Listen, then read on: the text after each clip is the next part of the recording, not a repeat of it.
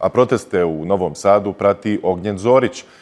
Ognjene, čime sve nisu zadovoljni poljoprivrednici u Srbiji i kakav je odnos vlade prema njihovim problemima? Kakav im je plan do ostvarenja zahtjeva?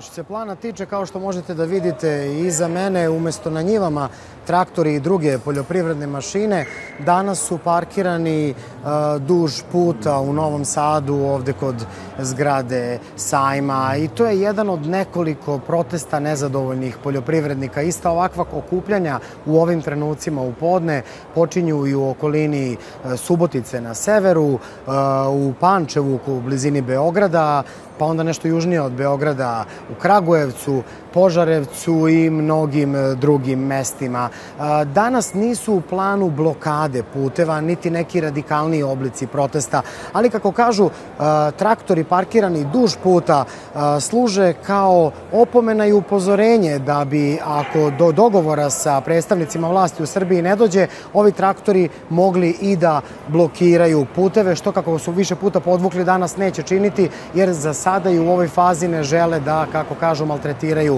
svoje sugrađane.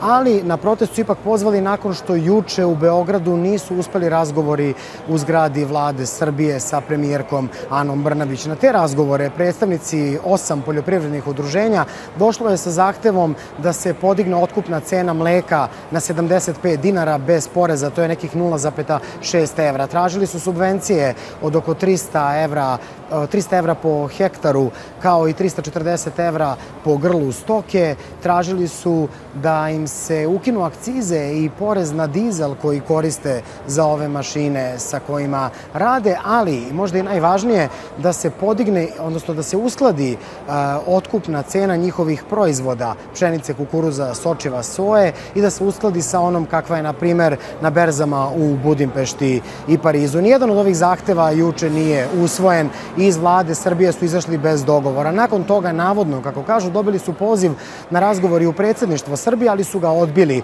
jer navode da ne vide šta bi to predsednik mogao da im da i ponudi kada već vlada nije bila u mogućnosti da tako nešto učini. I svi ovi zahtevi i svo ovo nezadovoljstvo poljoprivrednika nije novo. Sa gotovo istim zahtevima protestovalo se i prošle godine. Podsjetiću, u avgustu su blokirani putevi u Srbiji sedam dana, a protesti su završeni 16. avgusta sa delimičnim dogovorom tada sa vlastima Srbije. Od tada do danas prošla je to gotovo godina. Oni su i dalje nezadovoljni. Cene su dodatno porasle, što je, kako kaže, dodatno usložilo, usložilo njihove probleme. U više navrata bilo je više manjih protesta od tada do danas, pa evo podsjetiću da je nedavno više udruženja mlekara protestovalo u Beogradu i da je na kraju tog protesta prosulo mleko duž Nemanjinu ulicu, to je ulica u kojoj se nalazi